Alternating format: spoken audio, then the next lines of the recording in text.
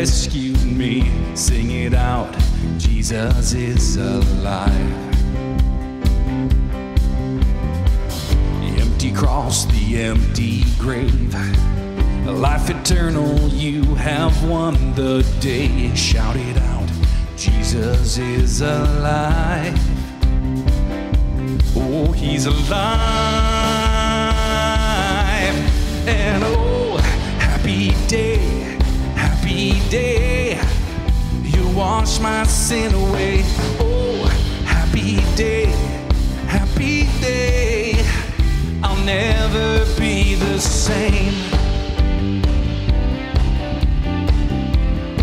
And forever I am changed.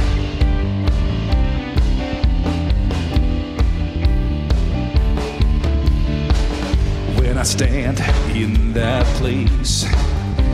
Last, meeting face to face. I am yours, Jesus, you are mine. Endless joy perfect peace. Earthly pain finally will cease. Celebrate, cause Jesus is alive.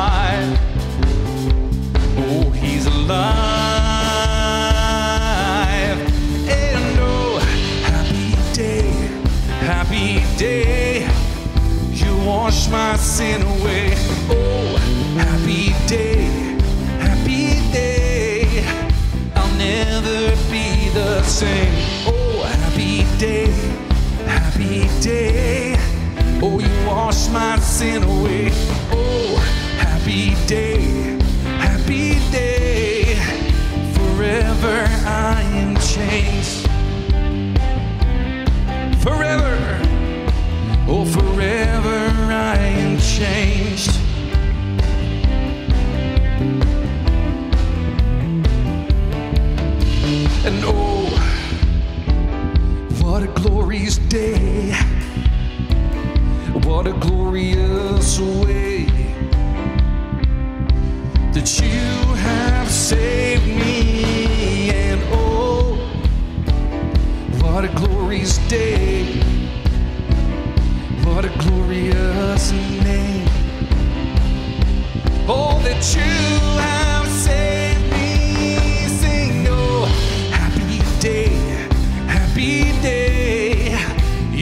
wash my sin away. Oh, happy day, happy day. I'll never be the same. And forever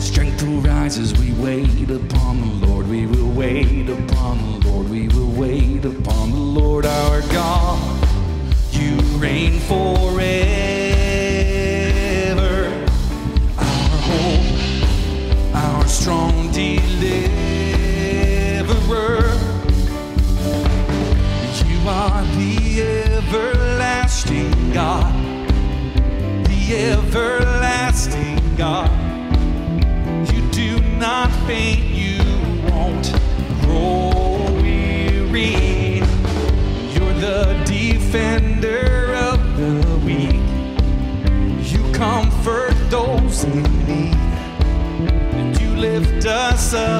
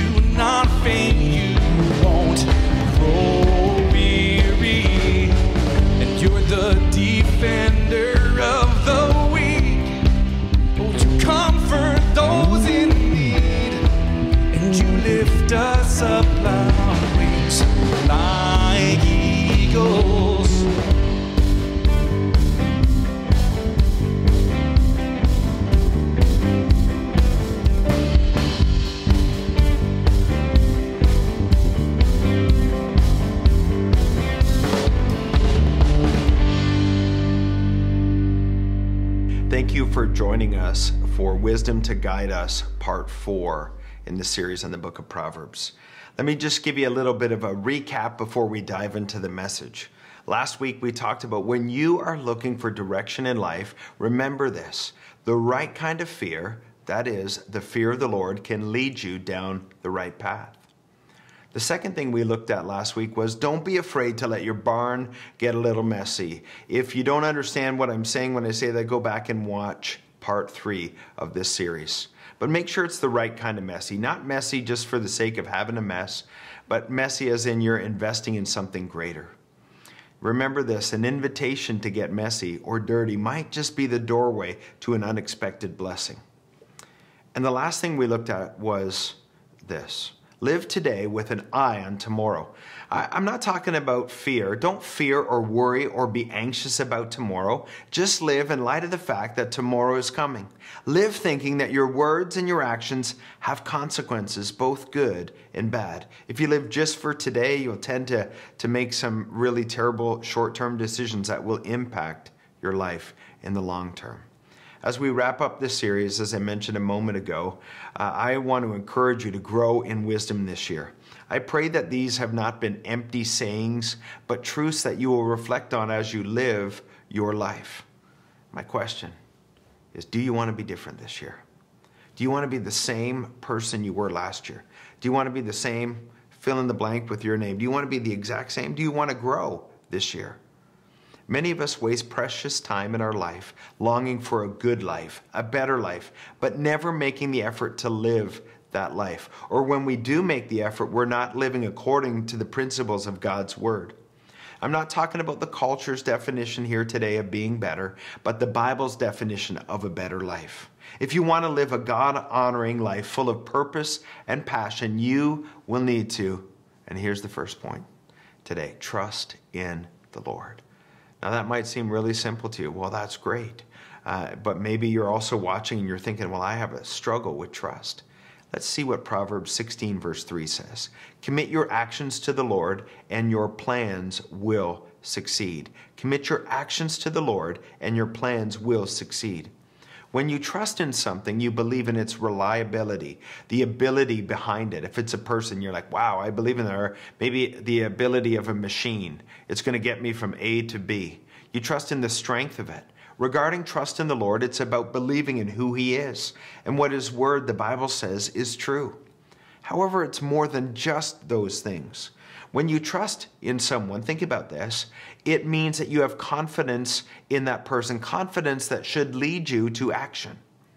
Maybe let's look for a moment at uh, trust in an inanimate object. If you trust in the strength of a bridge that you need to cross, you have the confidence that will lead you to action. You look at that bridge and you say, you know what? I'm going to cross that bridge. I feel confident that I'm going to make it across that bridge. So I'm going to actually move into action. So, to grow in wisdom this year, we must trust God more than we trust ourselves. We must trust Him in such a way, we must have confidence in God that will lead us to action in our lives. Jeremiah 17, verses 7 and 8 affirms this point. But blessed are those who trust in the Lord and have made the Lord their hope and confidence. They are like trees planted along a riverbank with roots that reach deep into the water. Such trees are not bothered by the heat or worried by long months of drought. Their leaves stay green and they're, uh, they're ne- they never stop, sorry, they never stop producing fruit. Their leaves stay green and they never stop producing fruit. Now I want to read verse 3 of Proverbs 16 again, but I want to use the NIV version this time. Commit to the Lord whatever you do, and He will establish your plans. Commit to the Lord whatever you do, and He will establish your plans. Whatever you do, give it to God. Stop making decisions this year based on your own wisdom. Stop waiting and checking all your friends first before you check with God. Seek Him first. Whatever you do, every decision you make for your family, every decision you make for your career, every relationship decision you decide to make, give it to God. Trust in the Lord. Trust in His reliability. Trust in His abilities. Trust in His strength. The second thing today that we're going to talk about is this, and this is maybe going to be a little more dicey as you're listening to this. Ask God to examine your motives. And why I say dicey is I think this is a tough one, and it might require some humility from all of us. Everyone likes to think that they do the things they do for all of the right reasons. Most times, even people who've done some really bad things uh, try to explain them away, saying they had good intentions at the time. Proverbs 16:2 says these words: People may be pure in their own eyes, but the Lord examines their motives. People might be pure in their own eyes, but the Lord examines their motives. They may think that they are pure, and we may think we're pure because we have blinders on in our life. Our motives might not be as pure as we think, and the Lord examines your motives and mine. He checks it out. He checks what's going on inside of our hearts. As human beings, we have this tendency to rationalize things in such a way so as they will benefit us or make us appear better than we actually are to others. When we ask God to examine our motives, we are saying this God, we want to align to your standards and your ways and not the standards of our culture or not my own standards. You see, if we compare our actions and our standards to the standards of this world, we will always appear or always feel, maybe is a better word, that we are in the right. We'll think, wow, I'm doing good compared to so and so or what they're doing. But that's not what the people of God are supposed to do. And if you don't believe me, don't just take my word for it. Let's read what it says in Romans chapter 12, verse 2. A familiar passage of scripture if you've been in the church any length of time. Don't copy the behavior and the customs of this world, but let God transform you into a new person by changing the way you think.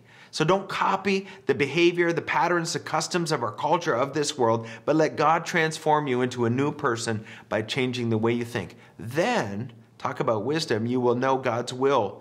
Then you will learn God's will for you, which is good and pleasing and perfect before you take a step this year, before you make a decision this year, you might want to consider that God not only sees your actions, but you might want to ask Him, God, would you examine the motives of my heart? Am I doing this for the right reasons? Is it pride in my life? He evaluates the intentions behind our actions. Often we're too close to the situation to see the motives of our own heart clearly. And that's why it's wise to ask God to check us before we wreck ourselves. Jeremiah 17, 9 and 10 says these words The human heart is the most deceitful of all things and desperately wicked. Not just wicked, it says desperately wicked. Who really knows how bad it is? But I, it says in verse 11, I, the Lord, search all hearts and examine secret motives. So God's examining the secret motives of your heart. I give all people their due rewards according to what their actions deserve. As we think about this today, I want to wrap up with the final point before we conclude. And this is one, as you think about the first ones, trust in the Lord. And you say, well, I can kind of get behind that. I should trust in God. I should trust in His reliability. I should trust in His abilities and His strength. After all, He is all powerful, He is all knowing. And then the second one is like, oh, I don't know. Ask God to examine my motives. I think I'm a pretty good person, and you might be a good person, but you might be too close to the situation. Maybe you're doing the right thing for all the wrong reasons. And as you ask God to examine your motives, it might stop you from doing some things that you shouldn't be doing. It also uh, might be an opportunity for you to change the motives. And God will bless that when you give that attitude uh, behind your actions over to God. And the final thing today is this let your character speak louder than your words. You want to grow in wisdom this year? You want to grow in influence this year? Do you want to be different this year? Then let your character speak louder than the words that you say to others. When you and I are in difficult situations and we have to make pressing decisions, it's incumbent upon us to make sure we live in such a way that our character speaks louder than the words that we say. You see, what we do matters as much, and many would even argue more than the words that you say. Our words are important, yes, but so are actions behind those words.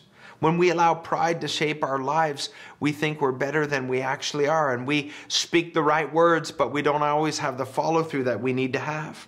Pride has this attitude behind it. I know what's best, better than you, better than others. I don't need to listen to your wisdom. Yes, I even know better than God. Now, some of you are thinking, whoa, whoa, whoa, Pastor Mark, wait a minute. I never ever said that I know better than God. You're thinking, I would never ever say that I know better than God. Of course, God knows better than me. But why are you living the way that you're living?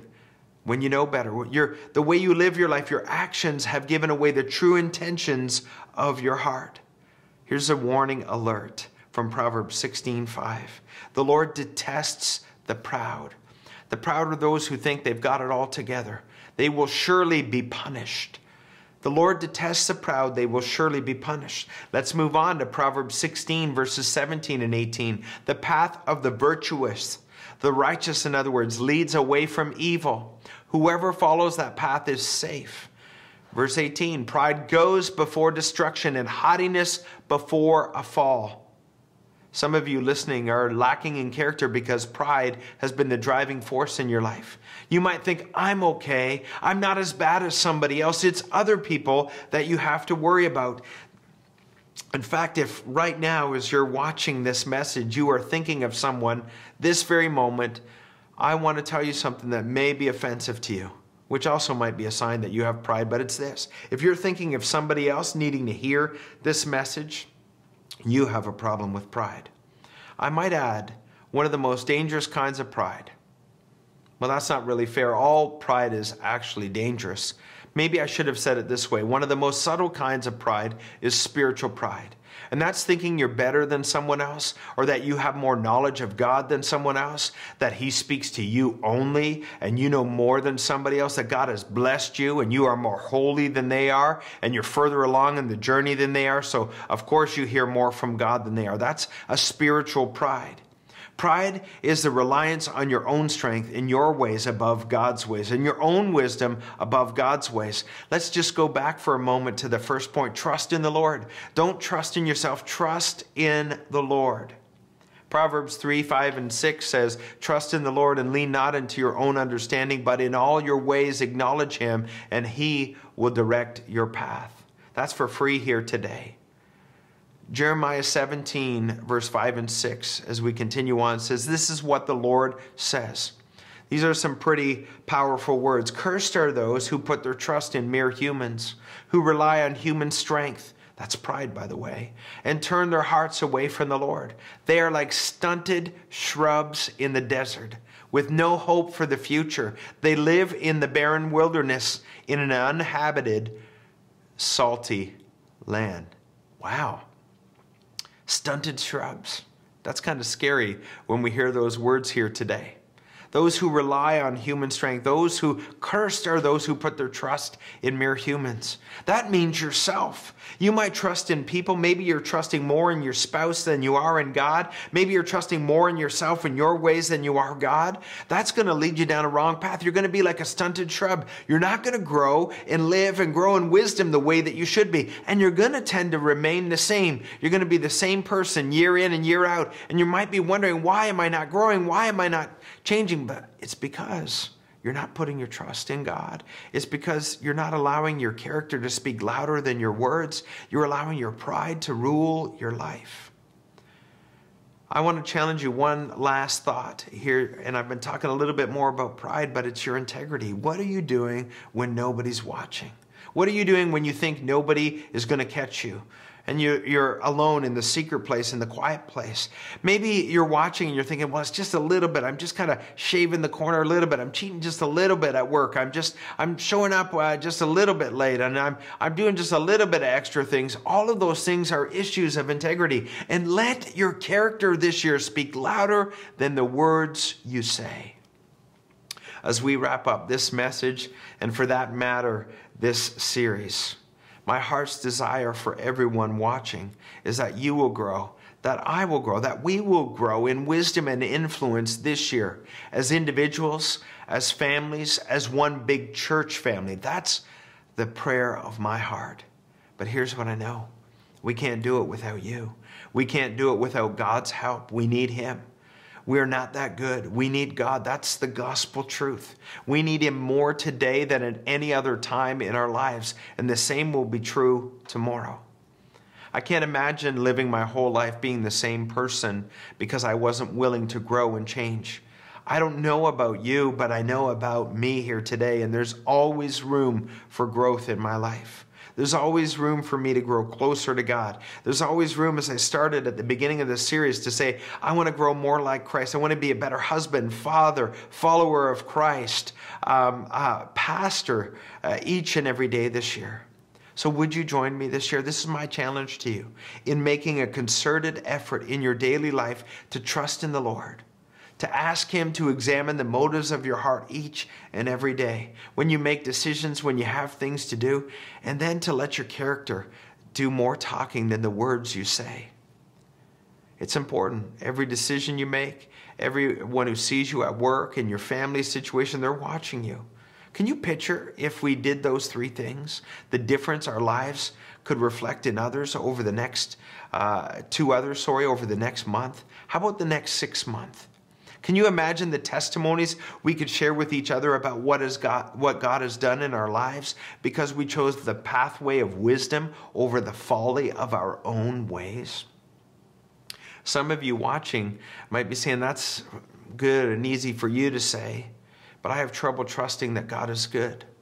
And maybe because of stuff that has happened to you in your life, or maybe because you cried out to God in a specific situation and He didn't exactly show up in the way that you expected Him, or wanted Him, or needed Him to show up at the time.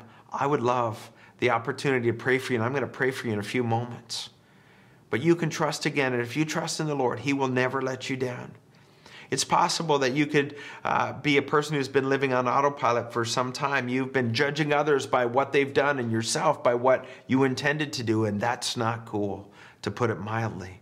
Or maybe you have a problem justifying things that you know are wrong, but, but you call them right because it benefits your status, it, it benefits your finances or your appearances to other, others. You'll appear more spiritual. Ask God to examine the motives of your heart, and I'm going to pray for that today. Pride is a human problem, meaning we battle it at all times. And it kind of links to the first two points. And in certain areas of our life, relying on ourselves while ignoring God will lead us to a stunted life. That's true. You know, it reminds me of this, and maybe this uh, saying is just kind of, uh, you know, a thought that came to me as I was preparing for this message. And um, Scotiabank used to have the slogan, You're richer than you think. Maybe the slogan for humanity uh, could be that without God's help, you are worser than you think. Now, as you're watching this today, if you're a type A personality and you're really particular about grammar, I'm sorry that I offended you today. I'm sorry, but I'm not really that sorry. I want you to get the point. Without God, you and I are worser than you think. We are not as good as we think we are, is another way to say that.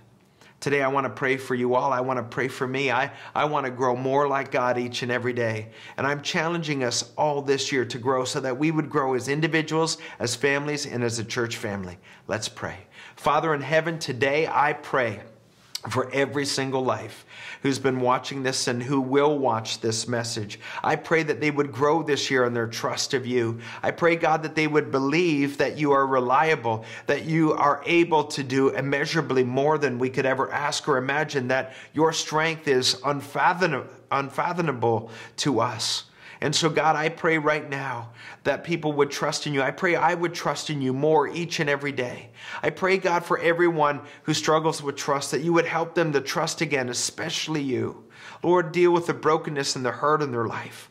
God, for those which is all of us uh, who struggle at times with the wrong motives. That's all of us at one time or another. I pray that you would examine the motives of our heart. I pray that before we jump into situations, and make decisions. God, that you would examine the motives of our heart. Lord, sometimes to show us we shouldn't do those things, sometimes, God, to change our attitude before we do those things so they can actually be effective for you and for your glory. And finally, God, I pray that you would help us to grow in character.